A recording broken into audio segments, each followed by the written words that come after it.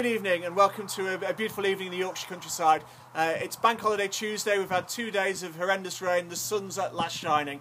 Uh, let's look at, we're doing the Whisky Sample Club, it's Sample Club 1 and they're on the fourth whisky. So we've had a very interesting uh, voyage so far uh, and now I thought we'd move to blends and not just your basic bog standard blended whisky. We're going to move to the crystal of the whisky world, the iconic Johnnie Walker Blue Label. This isn't the black label, it isn't the, the red export label or the green. This is the proper stuff. Blue label, retailing at, let's say, 150 quid a bottle.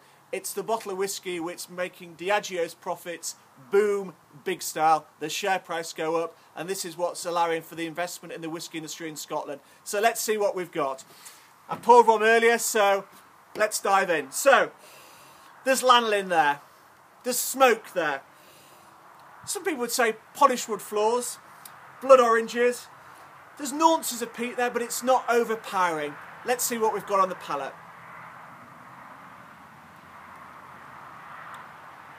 The first thing that hits me is pepper, green pepper, kind of green fruits, but then you get this wonderful barley grist coming in, this gentle peat. It's soft peat, but it's quite drying. Uh, it is delicious whiskey. Yeah, in the words of Jessie J, don't forget. Let's forget about the price tag. 150 quid a bottle, fantastic stuff.